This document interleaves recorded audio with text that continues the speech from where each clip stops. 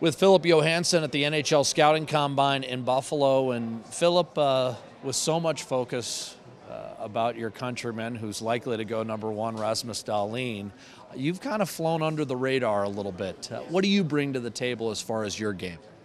Uh, on ice, I think it's two-way D. Uh, good skating and hockey sense. Uh, play solid. I think I can improve my offensive game. Uh, but like as a guy, I think I'm a good guy, good teammate. Uh, try to show the teams that. I think I always work for the team, and that's how. So I think I'm a good guy outside of hockey too. Is there an NHL player that comes to mind, whether it's from your country or not, that yeah. you pattern your game after?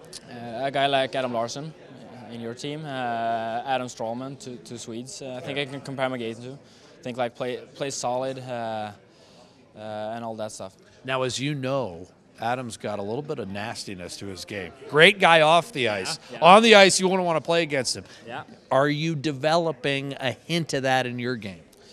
Maybe a little bit. I think yeah. I don't have it right now. I think. Um, but uh, I want to play hard. I want to be a guy you don't uh, like want to play against. Uh, but I said I don't think right now. Maybe not that much as him, but uh, a little bit I think.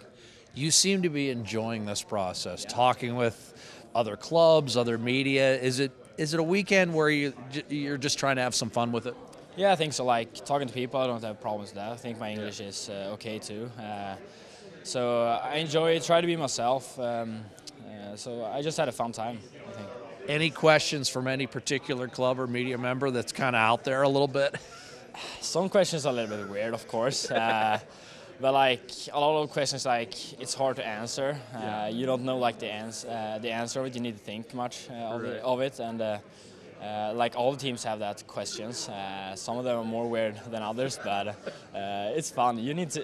I think you you learn more about yourself too when you get those questions. That's Filip Johansson at the NHL Scouting Combine in Buffalo.